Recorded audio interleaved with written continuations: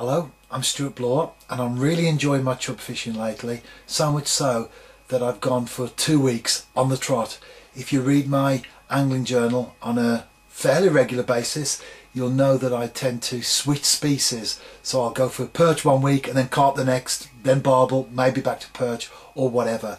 But I've really enjoyed going for chub and so I'm continuing to uh, to fish for them this week. I have done some fishing already and I've got some footage a little bit later on in the video of, uh, of a chub making the bank so one of those uh, good fish that I've been catching from the canal actually get one uh, for the camera but for now I'm going to uh, show you some of my gear that uh, is ready to go out tomorrow morning as it happens because I'm doing quite a few sessions this week. I think for most of us if we're organised anyway our session doesn't begin the moment we get up. We don't wake up at three o'clock in the uh, summer, uh, 3 a.m. on a Sunday morning or a Monday morning or a Saturday or whatever and start getting our gear together. We actually put it in place the day before, a couple of days before maybe, if we're not out fishing till then. And I'm the same. I get all my stuff ready and prepared so that when I get up in the morning, all I need to do is load the car and I'm on my way. And there's my quiver as you can see there. To the right of it is the uh, is, is my carp my carp bag. So I've got rods in there already made up when I next go carp fishing.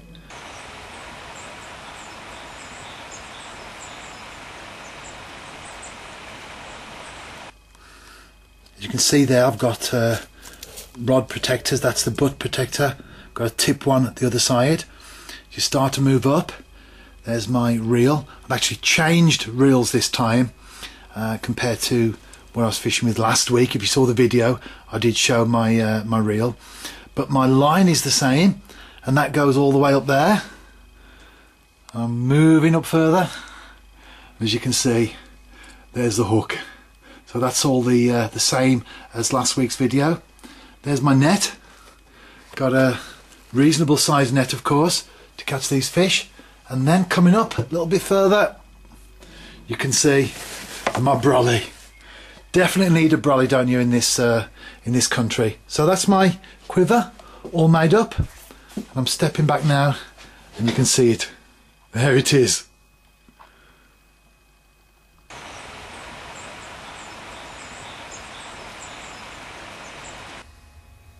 So that was my quiver rod made up ready to go what about my rucksack? Well, there it is behind me on the bait freezer. Shall we take a look in there?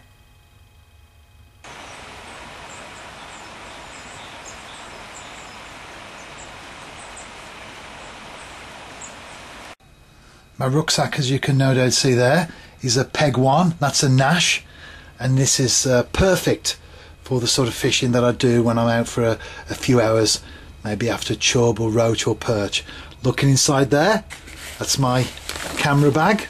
I think see my camera's wrapped in uh, a little bit of protection as well. That's a jiffy bag actually that I've uh, wrapped it in inside there. The flask, important particularly in the winter, isn't it, to get plenty of uh, plenty of hot drinks. And there, in uh, some bubble wrap, is a radio. Can't really see it, but uh, it's a radio. I like to listen to the football sometimes maybe the news and uh, all that sort of stuff. Keep it nice and low, don't disturb anyone. A towel, that's a well-worn, a well-worn towel there, but you need that for doing your hands, particularly with ground bait. Hence, that I've got that uh, that there. I do fish with um, with uh, mashed bread for chub, but I sometimes like to top it up with, uh, with a little bit of uh, ground bait. And there, finally, is my uh, is my box, my tackle box. I'll get that out now and show you what's inside.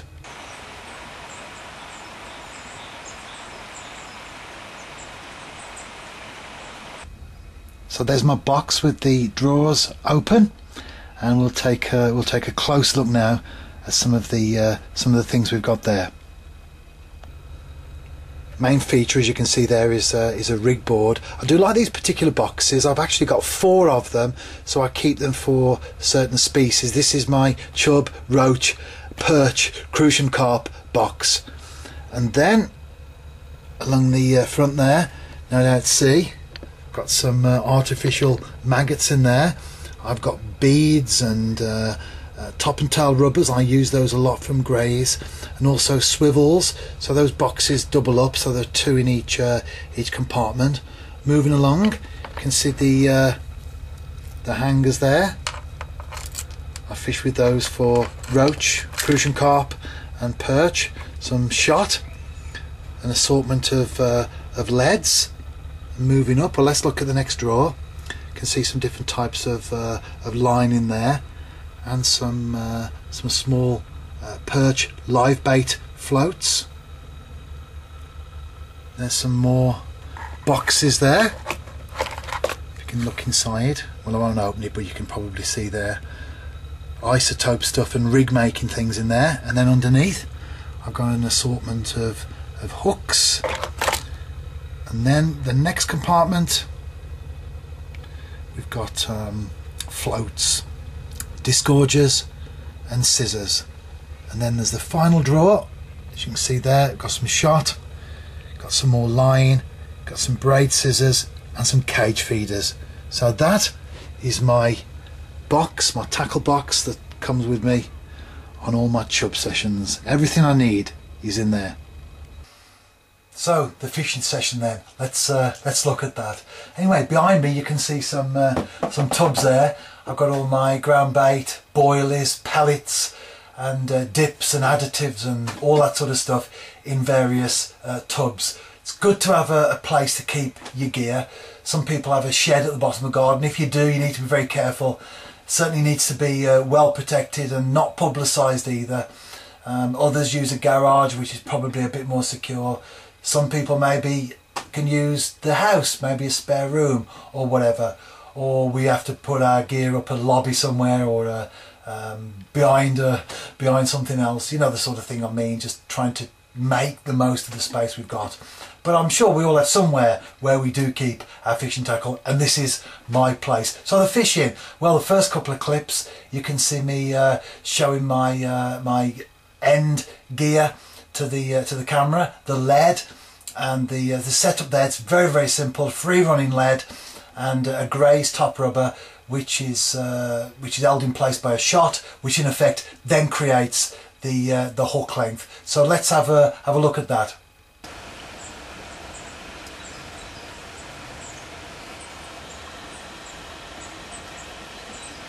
And of course you saw the bait there just a piece of bread pinched around the shank with the uh, the, the the rest of the uh, of the bread uh, sort of left so that it can go quite uh, fluffy as it hits the uh, hits the water and takes water on. And it's been working for me. So bread is a very simple bait, isn't it? And it's certainly been uh, catching some chub, as you're going to see uh, shortly. So then casting out, getting the rod down, getting everything set up, putting it into the uh, in, into, into the rest, and waiting for that fish.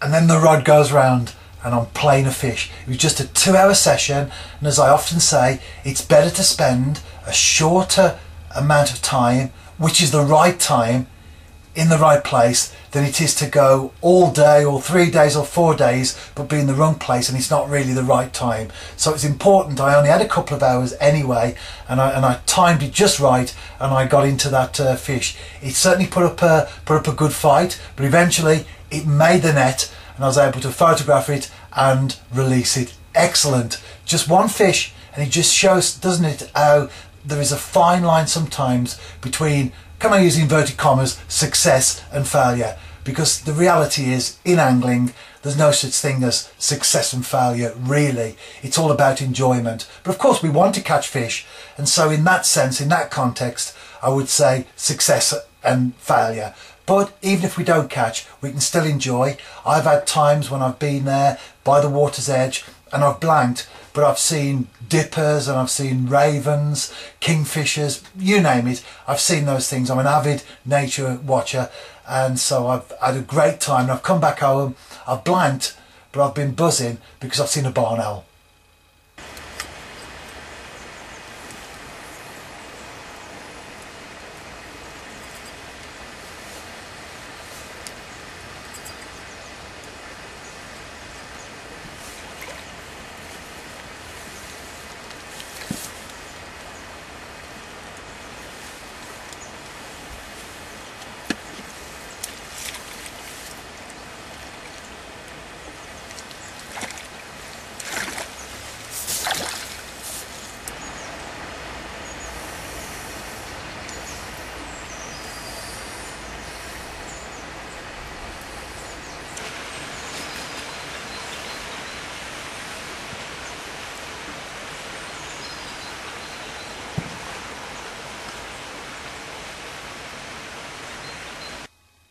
I hope you've enjoyed the video.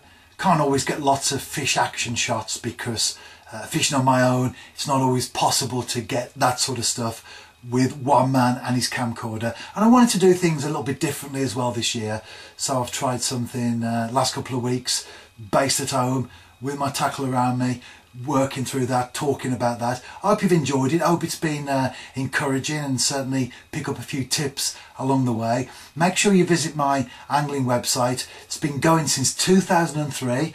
I update it every single Saturday with an article and this year with a video. So make sure you check it out and I'll see you soon. And if you're out and about yourself, tight lines.